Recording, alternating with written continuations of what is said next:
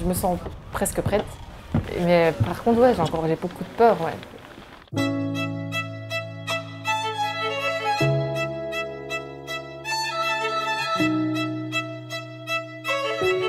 Ça m'est jamais arrivé de rester plus de 48 heures seule.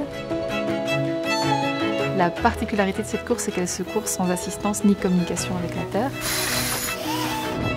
C'est pas juste naviguer en solitaire, c'est aussi tous les aspects autour qui sont, qui sont seuls. 87 bateaux à partir de La Rochelle pour arriver en Martinique. Je suis donc notre amie Marie-Amélie Lennartz.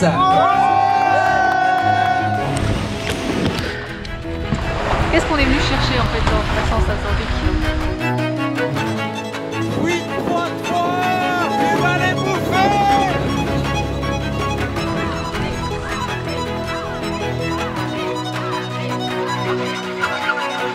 C'est l'inconnu total, je sais pas trop comment moi je vais réagir.